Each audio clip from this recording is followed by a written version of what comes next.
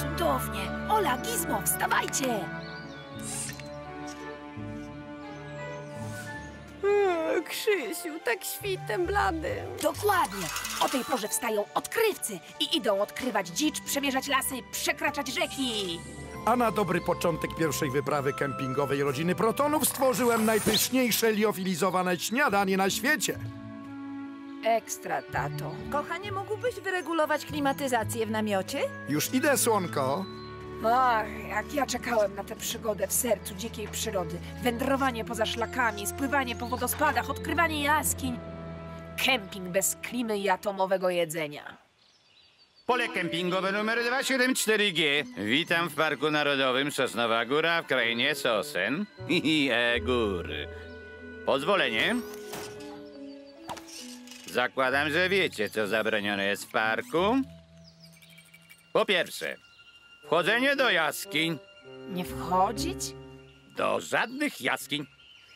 I spływanie po wodospadach, Nie spływać? po wodospadach, zbyt silny nurt. I wędrowanie. Nie wędrować? Poza wyznaczonymi szlakami. Trzymacie się wyznaczonych ścieżek i... I nikomu nie wolno dotykać mojego megafonu.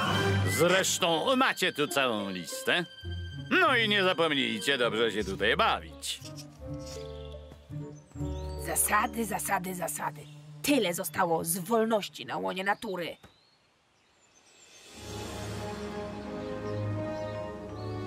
Patrz, Krzysiu, doskonałe drewno na ognisko. Tak, świetne.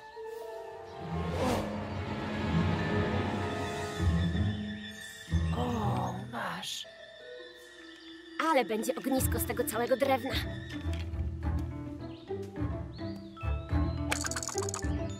Hej, wy, chodźcie.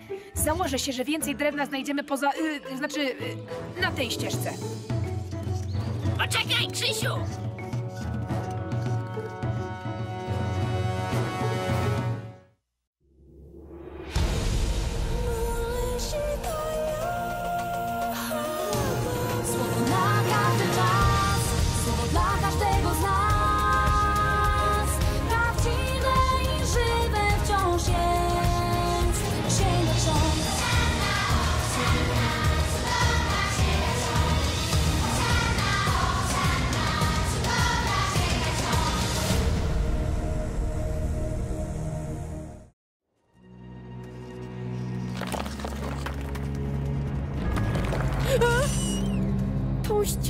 Da się iść. Olu, spójrz, jaskinia! Jak cudnie! Krzysiu, znasz zasady? Nie wolno nam je łamać. Hej, zasady są po to, żeby je łamać. Chodźmy. Krzyś, co będzie, jak się zgubimy? A czemu mamy się zgubić?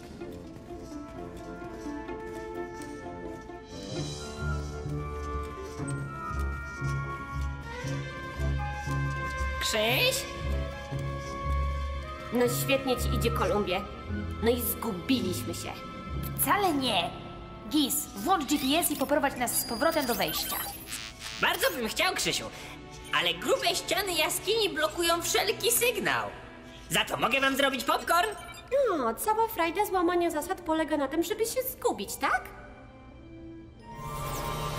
Księga ksiąg!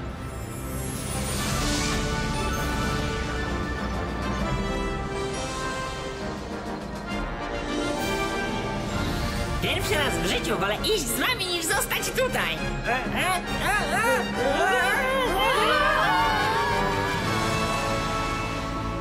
Zabieram was na spotkanie z ludźmi, którzy byli kompletnie zagubieni, dopóki nie zrozumieli, dlaczego warto przestrzegać zasad.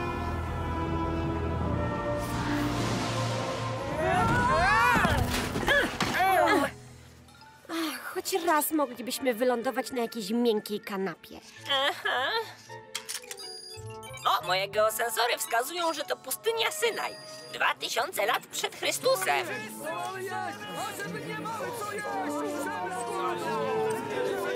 Pole namiotowe Sosnowa Góra? Bez sosen? Minęły już dwa miesiące, odkąd wyprowadziłeś nas z Egiptu. I nic, tylko głód i pragnienie. Giz, przeskanuj ich twarze. Może rozpoznasz kogoś z tego tłumu.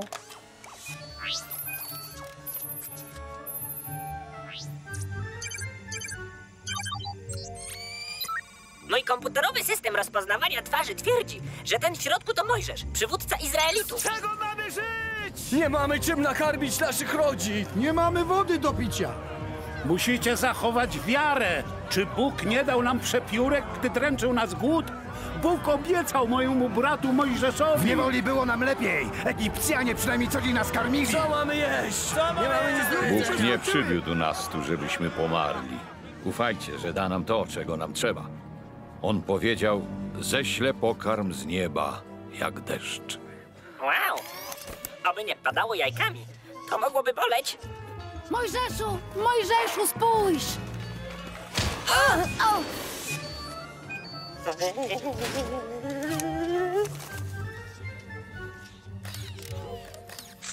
Pada śnieg?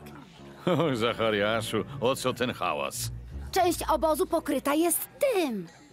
Musiało nocą spaść z nieba.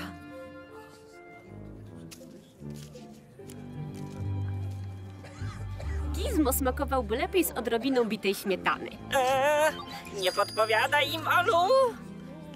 Co to jest? Nazywamy to manną. Właśnie to obiecał nam Bóg. Zaspokoił głód. Tak, tak. Wreszcie będziemy najedzeni. Zachariaszu, zbierz mannę. Później powiedz wszystkim w obozie, żeby zebrali dla siebie.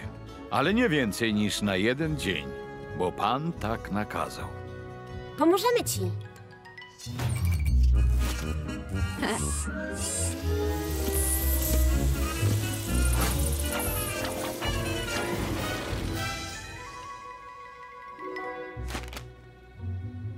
Cudowne. Z jakiego on jest pokolenia? Mojżeszu, dlaczego Bóg rozmawia tylko z tobą? On jest też naszym Bogiem, chcemy go zobaczyć. Skąd mamy wiedzieć, czy mówisz mu o wszystkim, czego nam potrzeba? Na co nam manna, jeśli umrzemy z pragnienia? Czy kiedykolwiek uwierzycie?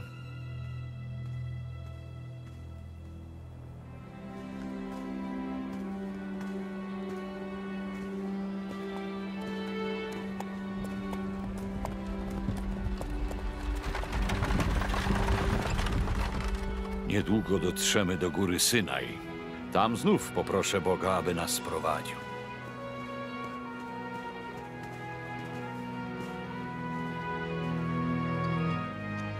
Skąd pewność, że Mojżesz wie, dokąd nas prowadzi? Mam wrażenie, że chodzimy w kółko. Ojej, niektórzy nawet nie są wdzięczni, że zostali wyprowadzeni z niewoli. Bo to jest trudne. Kiedy byliśmy niewolnikami, zawsze mówiono nam, jak mamy żyć. Kiedy się budzić, kiedy się kłaść, jak pracować, co jeść. Same zasady. Ta, i nie mieliście tego dość? Odkąd jesteśmy wolni, nie ma żadnych reguł. Czasem nie wiemy, co robić. Ani nawet, co jest dobre, a co złe. Hej, brak reguł. Tak bym chciał.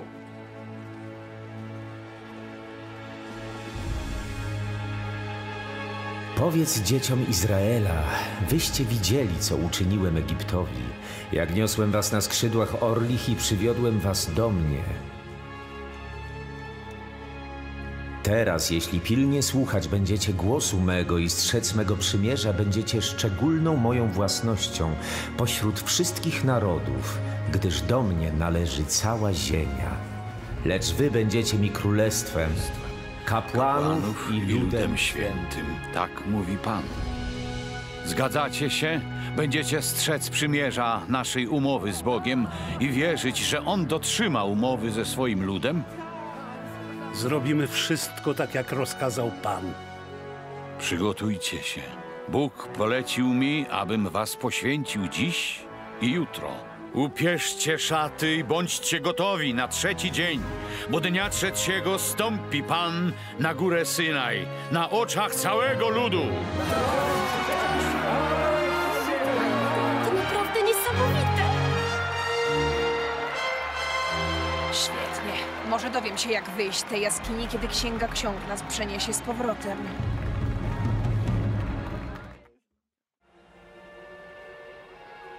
Pamiętajcie, Bóg dał nam pewne zasady na ten święty dzień. Nikt nie może zbliżać się do góry, kiedy On na niej przebywa. A, nie da się uciec od tych całych zasad.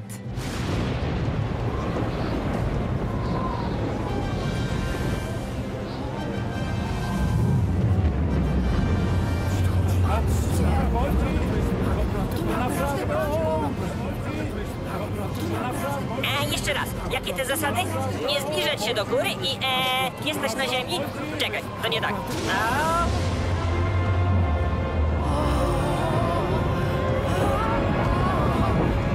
Co się dzieje?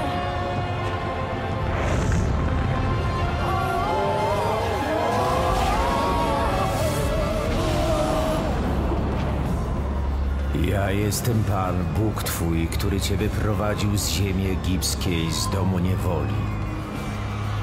Nie będziesz miał bogów cudzych obok mnie. Nie będziesz czynił żadnej rzeźby, ani żadnego obrazu tego, co jest na niebie wysoko, ani tego, co jest na ziemi nisko, ani tego, co jest w wodach pod ziemią.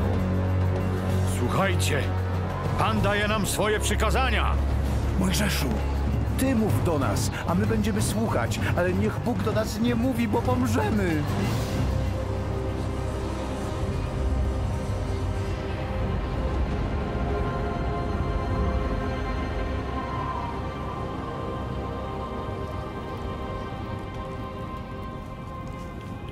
Krwią tej ofiary całopalnej poświęcam ten ołtarz, który sam Pan kazał mi zbudować.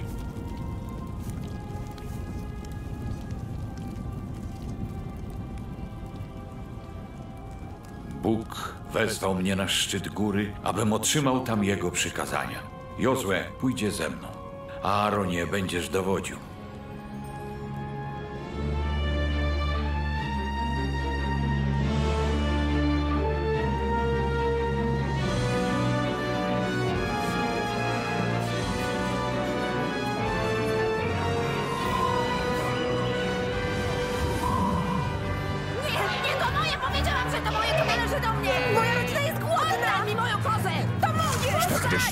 Żadnych wieści. Skąd mamy wiedzieć, czy on w ogóle wróci? Nie będę więcej sprzątać! Mam już dość! Wystarczająco długo byliśmy cierpliwi. Bóg chyba już o nas zapomniał. Zróbmy sobie własnego Boga! Którego da się dotknąć i zobaczyć. Nie! Bóg powiedział żadnych rzeźb ani obrazu! Dał nam zasady. Zasady są po to, żeby je łamać. Którego da się dotknąć i zobaczyć. Zobaczyć. O nie. Kiepsko. Tak.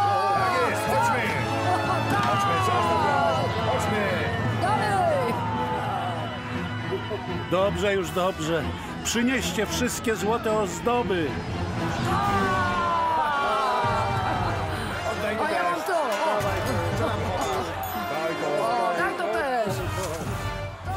Musimy coś zrobić. Musimy znaleźć Mojżesza. Nie można. Bóg zabronił nam wchodzić na górę. Czekajcie. Nie musimy wchodzić na górę. Przecież mamy gizmo. ko, ko, kogo? Mnie? Mam tam iść? A właśnie mi się przypomniało, że mamy lekcję gry na pianinie i muszę... Nie, możesz go znaleźć stąd, Giz. Co to dla twojego super laserowego wzroku z filtrem dymu i podczerwienią? No już! Jak on to robi? Nic tu nie ma, nic, nic. Skały, skały, kamień, skała, Mojżesz, skała. Gizmo! Mojżesz. He, znalazłem go! Patrzcie, on żyje!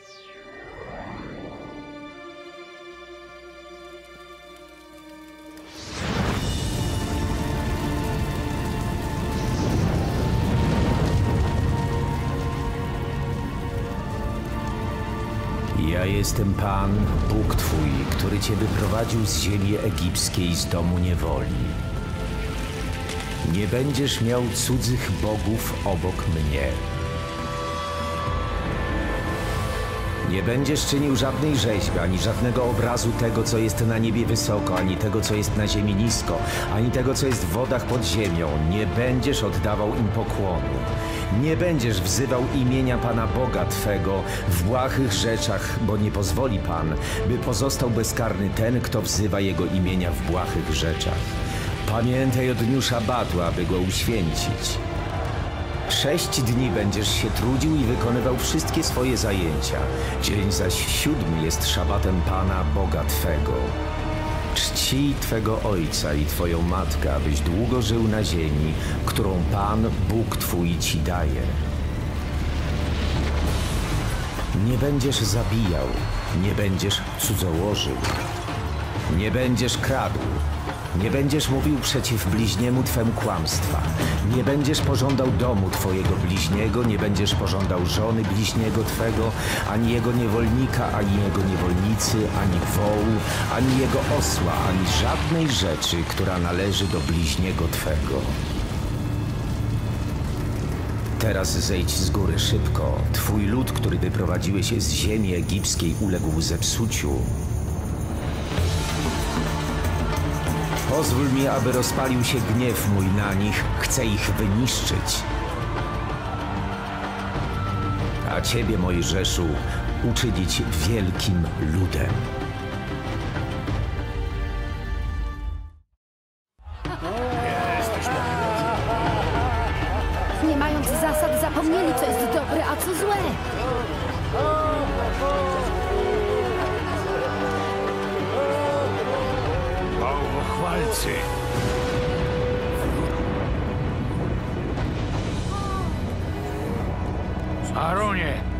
Się tu dzieje? Aaaa! Błagałem go, żeby nie niszczył swojego ludu. A wy? Coście ze sobą zrobili!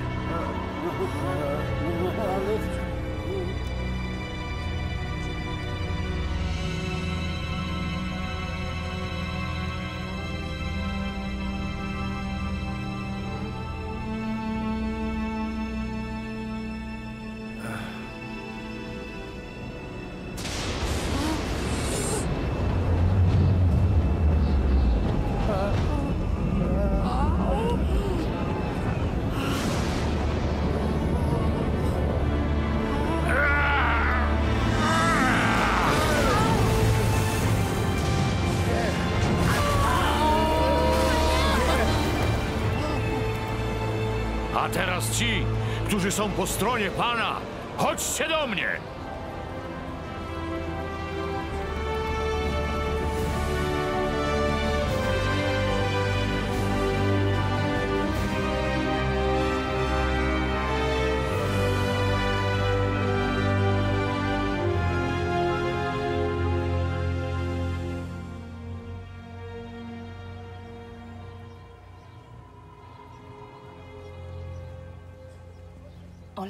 Zaraz wrócę.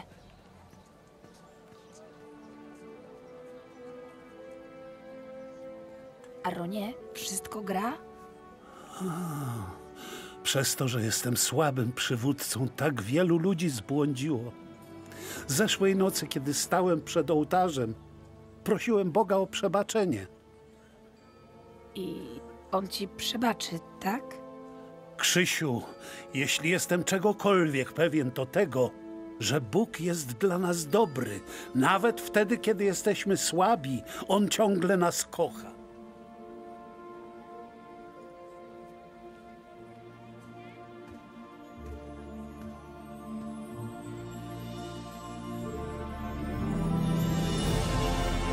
Tak, ci ludzie są grzeszni i buntowniczy, ale proszę, przebacz nam nasze grzechy i pozwól nam być Twoim ludem.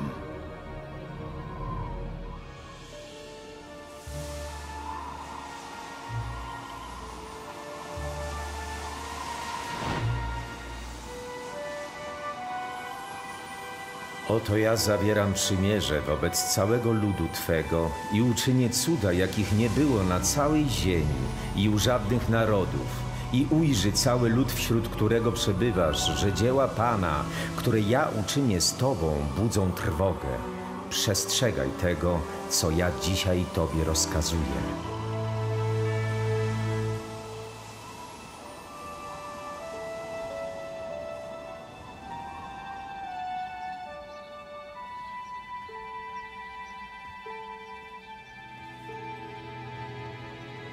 Pan Bóg przebaczył swojemu ludowi.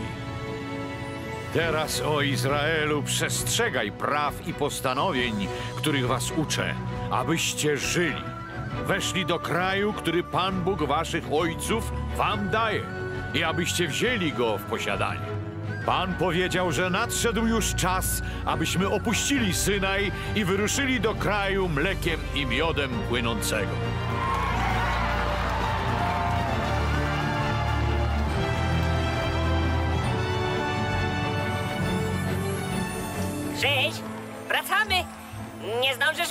Zapytać Boga, jak wydostać się z jaskini!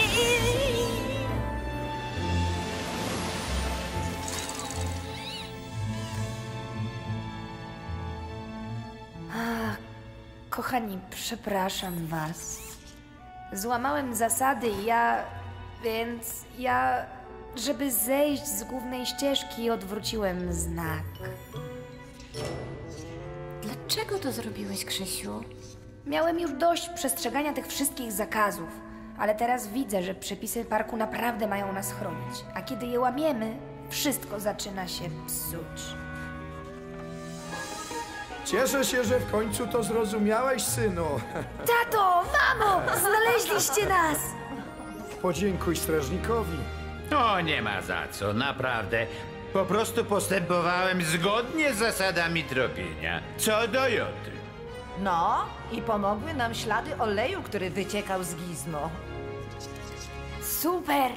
Super? Nie ma w tym nic super! Niech pan im powie, profesorze, bez odpowiedniej ilości oleju mój system hydrauliczny zacznie się przegrzewać, co doprowadzi do poważnej usterki i... jest- Spokój się, Giz. Dobrze, że twój olej zostawił za nami ślady i tyle.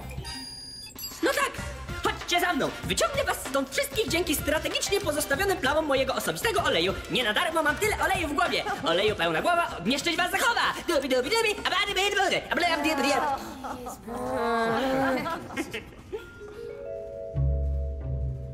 A ja jestem strażnikiem, co nie cacka się z nikiem. Jak nie huknę przez megafon, to postraszę mandacikiem.